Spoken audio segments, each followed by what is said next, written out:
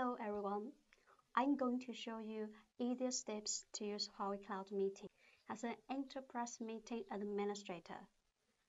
There are five main steps. Let's start. Step 1. After you have purchased Huawei Cloud Meeting service, you will receive an email with your Cloud Meeting password from Huawei Cloud, like this one. The account is your email address. Copy them and click Login to the platform. You are supposed to change your old password into new password that you can easily remember. Finally, we come to the management platform. As the enterprise administrator, you're responsible for managing conference resources and meeting users.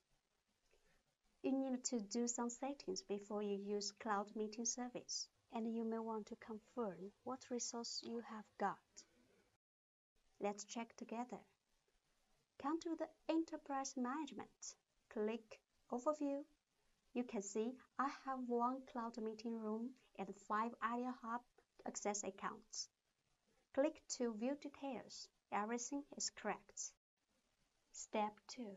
Let's add a department and manage meeting users. For example, I'm going to add sales department.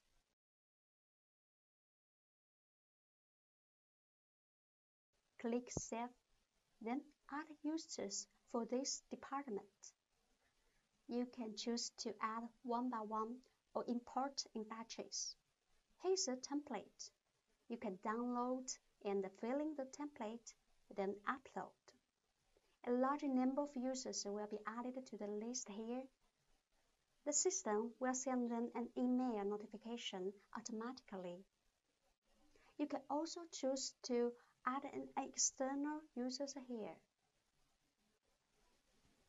Step 3. If you have purchased an Idea Hub Access account, you can follow my steps to add an Idea Hub activation code. Come to the hardware Huawei Idea Hubs. On this page, enter a name for your Idea Hub. You can name it whatever you like. Let's name it 123. Put in your email address. Click Save.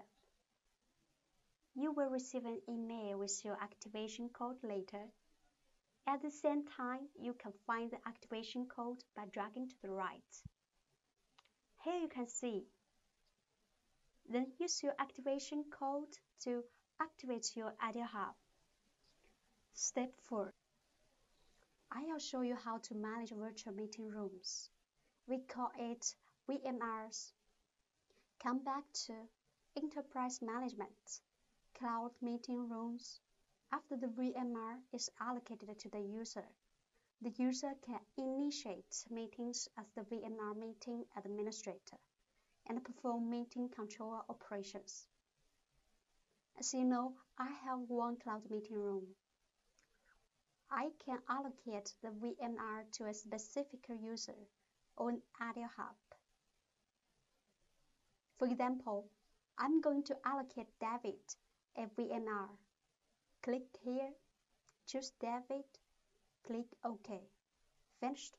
The system will send David an email with account and password to Huawei Cloud Meeting.